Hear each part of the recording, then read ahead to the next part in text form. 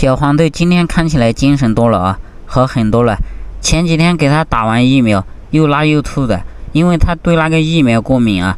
我又带到医院去，哎呀，给它输液输了好几天，又花了不少钱啊。嗯，为什么没拍呢？是这样子啊，因为有的网友不是老黑我嘛，看我不顺眼，又说我故意把狗整病了啥的，说的可难听了。其实那种人嘛，真的就是嫉妒我、恨我。他拿我一点办法没有，所以说我就没拍啊。嗯，我养狗的目的也不是说它生病了一定要拍给大家看。其实拍给大家看了的话，反而让关心它的人去担心啊。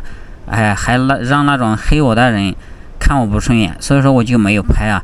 现在它好了啊，你看现在油光水滑的，精神抖擞。小黄豆生活的那个地方真的环境非常恶劣，我坚持了快一个月把它救出来了。呃，也希望它健健康康的吧。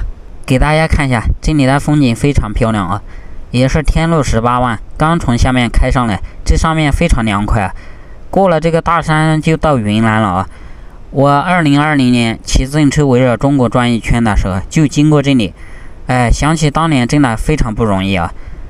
这边就是进入云南了，云南也是到处都是山啊，但是它路面比较好。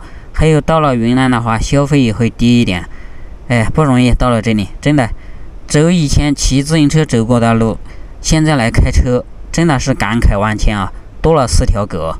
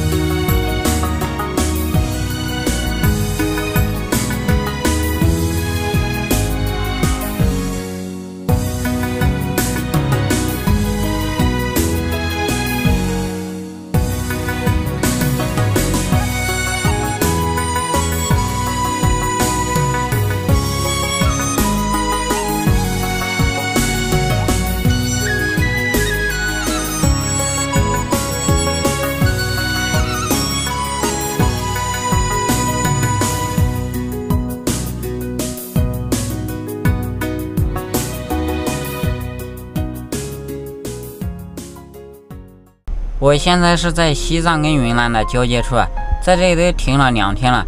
我本来是打算去云南的大理那边啊，往那边走的话，天气可能暖和一点，这边也不冷了。过了西藏都不冷，但是我的这个车啊，保险到期了，只能买了保险才能走，因为在路上万一出现什么事故啥的，有保险的话有保险公司去赔。但是现在保险到期了，不能开啊，哎，缓两天吧。大家都知道，我前段时间在拉萨那边帮他们治狗，确实花了不少钱啊。后面又去了阿里无人区救小黄豆，一路上的油费啥的，开销真的挺大的。但是实在是没办法，哎，说多了都是泪啊。还好几个狗狗现在都很健康，这样子的话我的压力就轻很多了。前段时间看见小黄豆打完疫苗过敏啊，特别可怜它，现在没什么事了啊，大家放心吧。